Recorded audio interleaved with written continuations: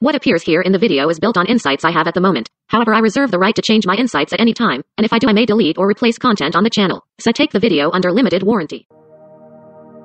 In this video, we are going to look at a broad and open-minded view of the world, and we will discover what the first step we must take to initiate a complete redemption soon. So let's start.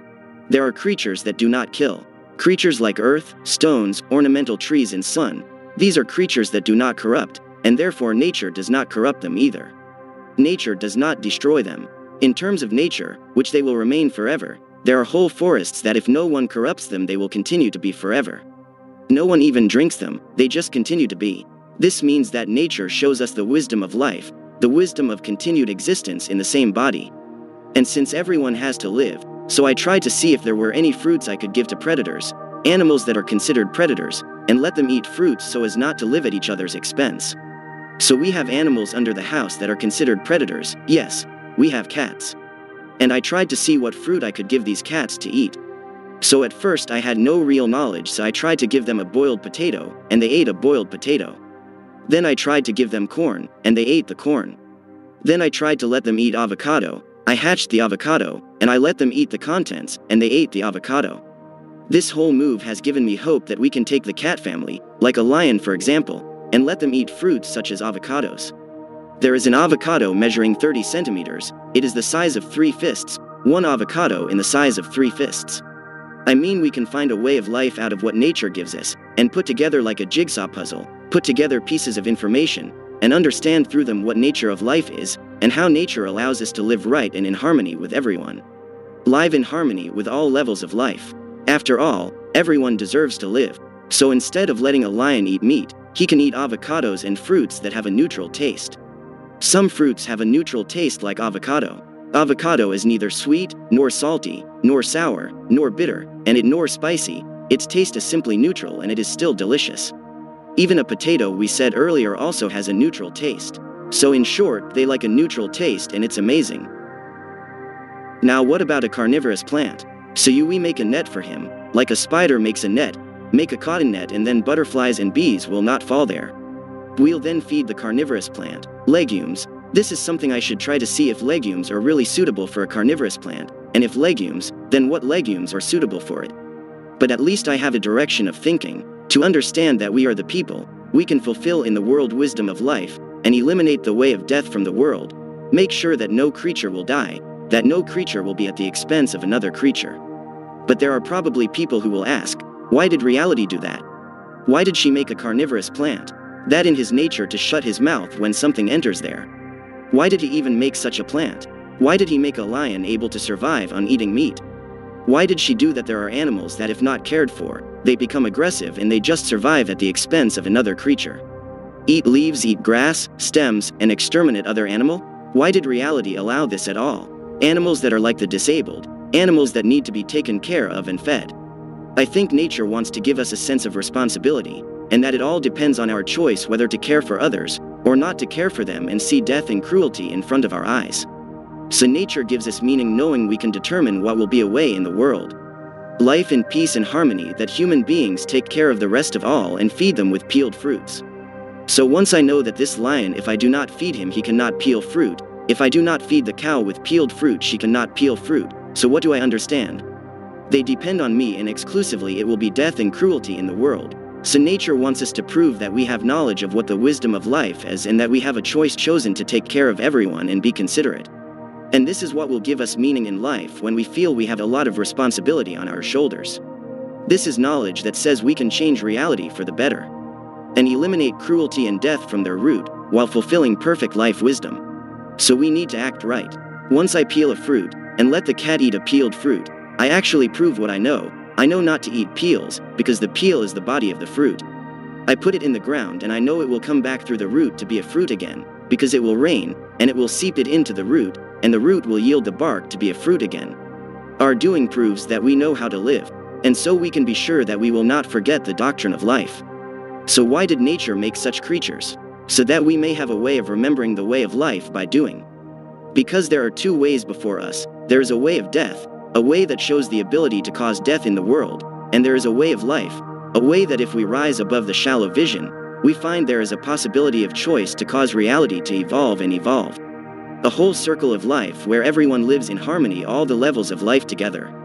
I mean there are beings that they depend on, if we do not peel fruit for them, they will try to survive on their own and they do not have too many powers, they will very simply corrupt other beings, just because they have no other way to survive on their own.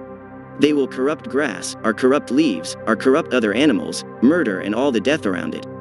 So we have a lot of responsibility on our shoulders, and that's what gives us meaning in life, that we have a choice to choose well, and to know that we have an important and meaningful role in life. Luckily today we are at a stage where you can thrive on eating fruit. We have almost everything here, even importing fruits from other continents and you can even get coconut water in the big supermarkets. What more than delicious and saturating coconut water? So as soon as we start implementing, I let the animal here to eat avocado, to eat corn, I actually see the results. It gives strength. These fruits that I tell you, I eat fruit and do not swallow what we do not get fluid in the mouth. I swallow only the juice of the fruit, and it gives me strength. It's not that I'm thin and weak, not at all. I look full and even have a small belly, and it turns out we do not need more than fruit. Everything we need to consume is there, and once again when I say fruit, I mean fresh fruit without their skins and without their seeds. Corn is also considered a fruit. Lettuce is also considered a fruit. We explained why it is considered a fruit. It has outer leaves and inner leaves like cabbage. Its outer leaves are considered bark, they fold outwards, while the leaves that fold inwards are the contents of the fruit. So once we have peel and content, we have fruit. But parsley or coriander is not a fruit, because everything there is a stalk, stalk and leaves, so there is no content in peel. Therefore, it is not considered a fruit. So we eat peeled fruit, lettuce and coconut water I drink in the meantime, and in the meantime I also eat nuts. These things you will see later, they just help me. Now I'm in this diet, so I'll share with you, I had a situation where I wanted to eat dough, bread, something, a kind of urge like that, an inevitable urge, go buy dough and buy something baked. And I thought I had no control over it, I would just go and have nothing to do. I would buy bread and I would eat it. But at the last minute I said I have lettuce here. Let's eat lettuce, and if I still want to, after that I will go out to buy bread. Well, I ate the lettuce, and all the urge was gone, just melted, completely gone. It's just amazing. Lettuce. Or for example, I once had an urge to eat bamba, and when I tell you an urge, I mean I feel bamba with all my senses, and I just had an urge to eat bamba. I did not feel like anything other than bamba. But at the last minute I said, once again, I have corn here, let's try to eat corn, and if I still have the urge I will go out and buy bamba. I ate the corn, and quite simply all the urge was gone. The urge to eat bamba was completely gone, I felt satisfied up to heaven. So when I tell you this whole, it is a whole of fruits that help to cope, and it is a whole that provides you with all the needs of the body. For example, coconut water they contain a certain salinity, it's written their sodium, which means that they contain salinity. Once I drink coconut water it significantly reduces the amounts of salt I need to add to my food. Because my body also requires salinity but the coconut water provides it. So coconut water has natural salinity in them while purchased salt and even coarse salt is not natural but is distilled. So coconut water is much better. And as soon as I tell you this whole thing, fresh fruit, coconut water, corn, lettuce and nuts, I tell you this whole thing because I found that it helps me, even though nuts make feces, so whenever I do stop eating nuts, but I initially eat also nuts, and when I talk about nuts I am talking about pecans. Now I'm just at the beginning of my journey, so I also eat nuts even though they do not become liquid in the mouth. But I still have an aspiration also nuts not to eat, because nuts they make feces as mentioned. But the rest of the things I mentioned here earlier don't make feces. I had a period where I was able to eat 8 days only fruit, and I did not have feces 8 days, because I eat only their juice, I chew chew chew, and whatever we do not get liquids I excrete it out. I mean I only put fluids into the body, so what comes out is urine, and no feces comes out and it's fun, Great fun that we can live without fussing. I think soon in the future, instead of being chefs dealing in cooked food and corrupt food, who have corrupted it by murder or by heating, I think there will be a state of culinary in sowing. People will get to all kinds of new textures by combining seeds, sowing suitable seeds next to each other. Not in assembling a branch within a tree, not in such a thing, but in sowing, sowing certain combinations and getting a new flavor, getting new textures. And I would not be surprised if there is even a texture like bread, such a spongy texture. Maybe if they combine seeds from spongy plants, maybe if they combine them, then such a texture will be obtained.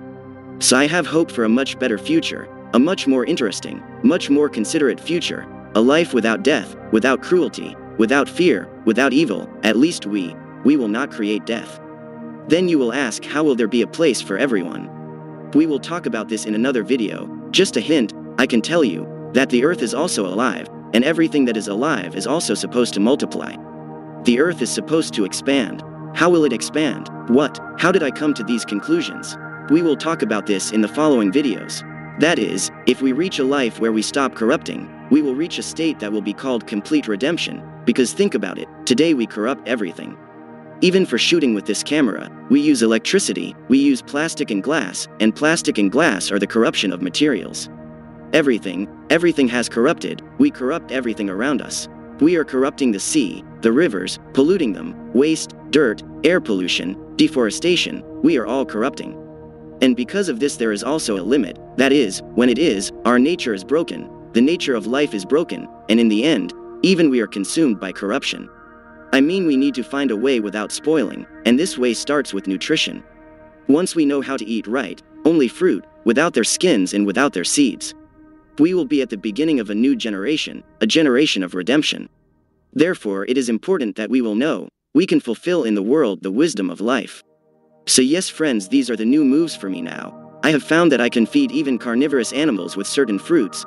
I have found that I can eat fruits. Nature allows us to continue perfect life in the world at all levels of life and stop being at each other's expense.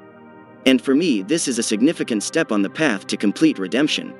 So this is it, I hope the video helped you, and that you got inspired and hope for a better future. I was Yochai Rachiani, and I will see you next time. Bye! In our temporary channel, we deal with all sorts of interesting areas. We will present here instructive natural phenomena. And we will talk here about a worldview that gives meaning to life and hope for a better future. If you are interested in this type of content, please feel free to subscribe to the channel and click the bell to be notified of any new video that comes up. And see you next time. Translation Google's translation. Narration Google text to speech. Voice WaveNet I. There is no copyright on this content, and any use may be made in whole or in part.